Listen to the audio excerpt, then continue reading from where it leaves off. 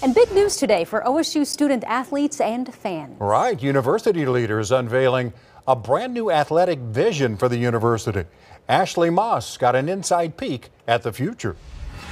We've got something in this plan that impacts every single one of our programs and every single one of our student athletes. So now is the time. The Pokes unveiling a new athletic plan to the tune of 325 million, saying their transformation will add state-of-the-art facilities, help attract student athletes from all programs to its campus, and improve game days for fans. We don't have enough room for the fans, right? We've got um, a lot more demand for our tickets there than we've got space. We love how that feels there, and we don't want to lose that feel and that um, electricity that's there. A sneak peek of the renderings shows a facelift on already existing facilities, including the equestrian center and golf course, but a brand new basketball training center, football operations center, indoor track, softball stadium, welcome plaza, and wrestling training facility. Officials want to corral much of that triple digit price tag with fundraising and donors. Our plan is to not take on any um, additional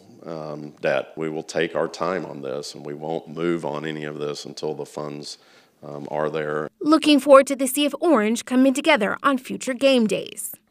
It is really just a roadmap. This is the plan. Now is when the work begins. Ashley Moss, Oklahoma's News 4. Officials say plans are still early in development and there's no definite timeline yet, but they did add that this is likely a years long project.